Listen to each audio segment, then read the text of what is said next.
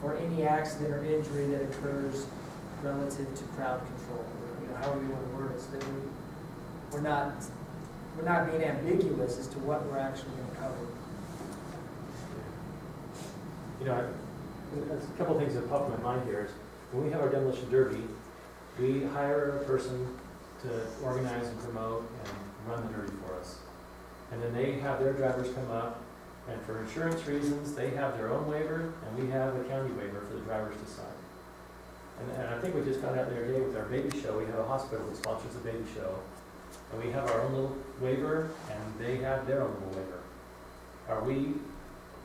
if now, if we're saying the language, in our language, the baby shows the hospitals and the derby's the derby guy, but yet they're both signing our waivers, does that just make a marriage to where, you know, no, it's your event, they signed your waiver to be a participant in that event? And does it matter if it says like Juab County Fair diaper derby